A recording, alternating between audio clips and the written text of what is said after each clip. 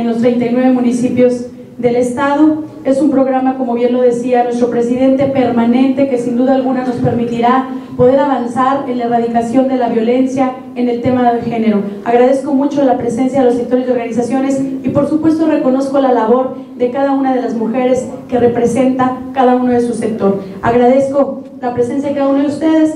El programa consiste en varios puntos. Primero, el día de hoy arrancamos en los diferentes cruceros de la capital, de todos los municipios de los 39. Posteriormente estaremos haciendo posicionamientos en los cabildos en los 39 municipios por parte de las legisladoras eh, el Congreso y de las regidoras y síndicas en los ayuntamientos. Haremos una campaña en redes sociales a través de Twitter, del Facebook, entre otros, eh, para difundir pues, el programa que sin duda alguna es un programa muy completo. Posteriormente se llevarán pláticas, talleres de superación personal, de autoestima, de, codependencia, con gente preparada en el tema, psicólogos, abogados, que estarán canalizando a las instancias correspondientes el tema de violencia.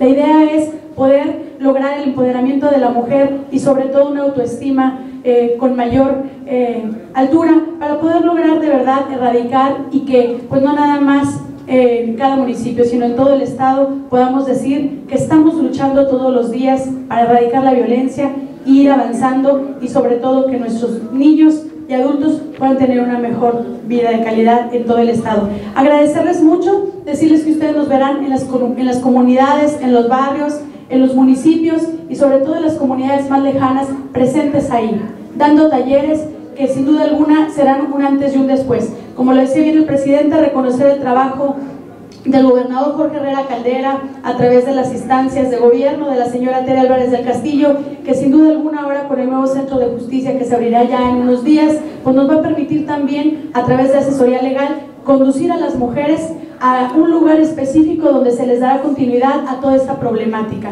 Y pues en este sentido vamos a seguir trabajando alrededor de cuatro a cinco meses y esperemos tener un excelente resultado. Por su atención, muchas gracias.